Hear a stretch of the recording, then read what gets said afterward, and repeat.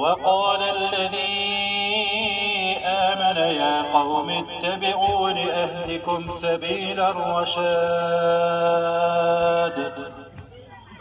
يا قوم إنما هذه الحياة الدنيا متاع وإن الآخرة هي دار القرار. من عمل سيئة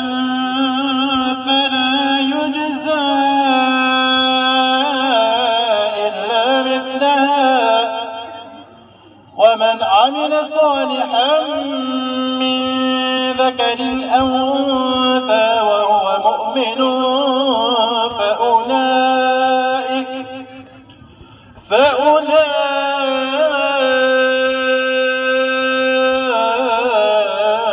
يدخلون الجنة يرزقون فيها يرزقون فيها بغير حساب. ويا قوم ما لي أدعوكم إلى النجاة وتدعونني إلى النار.